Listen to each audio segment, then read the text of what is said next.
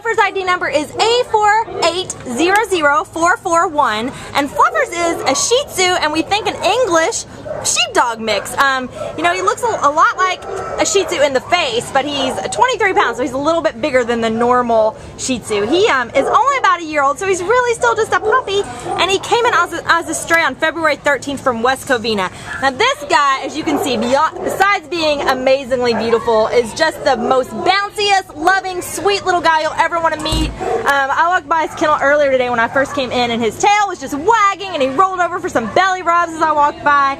Um, he's been good with other dogs that we've seen him out here with. He walks up and, and noses them, and he's curious to meet them. Um, he's good on a leash, and he's just the amazingly most perfect family dog you'll ever want to meet, um, and my favorite of the day. So he is amazing. You have to come on down to Baldwin Park Shelter and meet this guy today and make him part of your family. Right, Fluffers?